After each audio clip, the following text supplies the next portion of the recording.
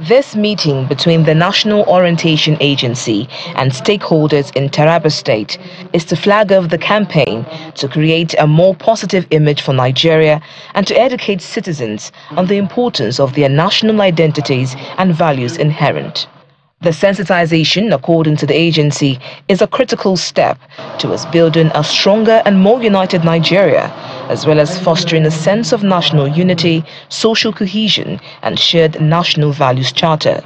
According to the state director, the eroding values has become imperative for the agency to step in to right the wrong.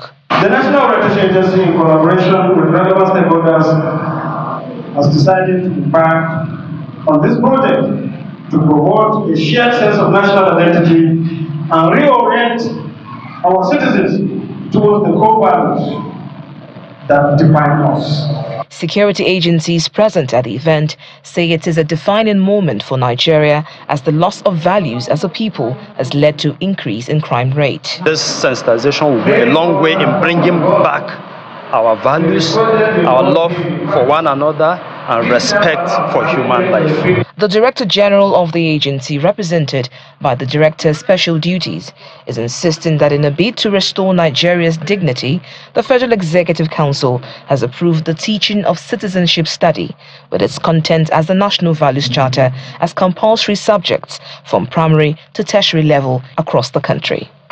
We have Nigerians who are making positive impact in academics, in sports, you know, and in various fields of endeavor in science, in medicine, you know, so uh, uh, at home and abroad.